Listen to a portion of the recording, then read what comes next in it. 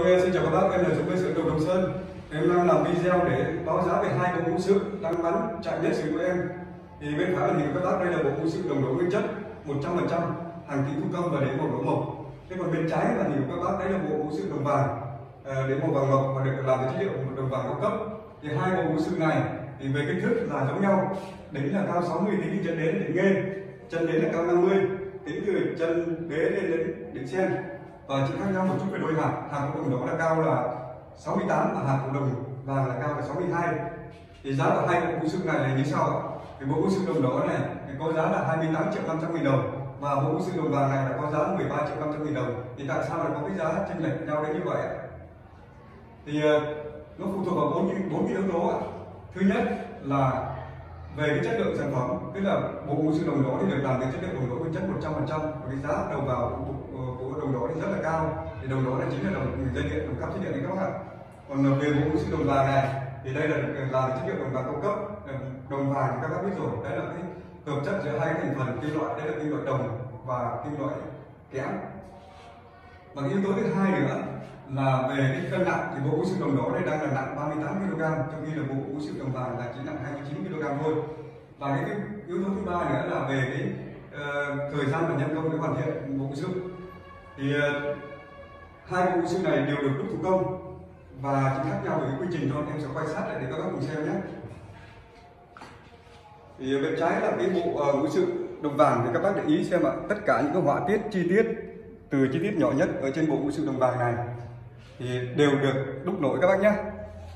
Thì ờ, bởi vì là cái đặc tính của đồng vàng rất là cứng rất là cứng cho nên là tất cả những cái chi tiết họa tiết nhỏ này thì đều được tạo trên cái khuôn đất. Đấy, cho nên là cái việc hoàn thiện một bộ ngũ sự ờ, đồng vàng thì nó sẽ là nhanh hơn rất là nhiều so với bộ ngũ sự đồng đỏ thì để hoàn thiện bộ ngũ sự đồng vàng này chỉ mất thời gian từ 5 đến 7 ngày. Và Ờ, em sẽ quay cả bộ vũ sự đồng đỏ để các bác cùng xem. Thì bên bộ vũ sự đồng đỏ này, các bác để ý là tất cả những họa tiết hoa văn được chạm ám chìm như thế này ạ. Thì đều được xử lý ở trong quy trình làm nguội. Thì tức là trong quy trình làm nguội thì ờ, các bác thợ như em để bắt đầu là mới chạm khắc lên để tạo nên những cái đường nét chìm như thế này. Cho nên là nó mất rất là nhiều thời gian và tiêu tốn rất là nhiều nhân công. Và cái yếu tố thứ tư nữa là về cái kinh nghiệm cũng như là cái kỹ thuật tay nghề. Thì để mà chạm khắc được như thế này thì đòi hỏi là cái kinh nghiệm của người thợ phải rất là cao. Và cái, cái kỹ thuật tay nghề của người thợ phải đạt đến một cái trình độ uh, luyện nhất định. Thì đấy là bốn cái yếu tố để mà tạo nên cái giá trị cho bộ vũ sự đồng vùng đó là như thế. Cái bộ vũ sự đồng đó hoàn thiện xong thì nó đều mang một cái nét độc và đẹp uh, riêng biệt.